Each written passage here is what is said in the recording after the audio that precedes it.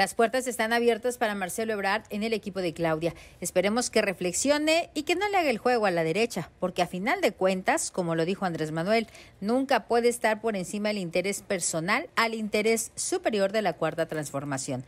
Así lo destacó Milton Eloir López Córdoba. Alguien lo decía, ¿no? De que precisamente estaba siguiendo los pasos de Andrés Manuel en conformar una asociación que eventualmente se convirtió en Morena. No estoy necesariamente seguro, pero es una ruta que puede ser. Lo hemos dicho de manera reiterada. Las puertas están abiertas en el equipo de Claudia Sheinbaum para Marcelo Brard y esperamos que reflexione y que no le haga el juego a la derecha, porque a final de cuentas, como lo dijo el compañero presidente, nunca puede estar por encima el interés personal al interés superior de la cuarta transformación. No puedo meter las manos al fuego por nadie.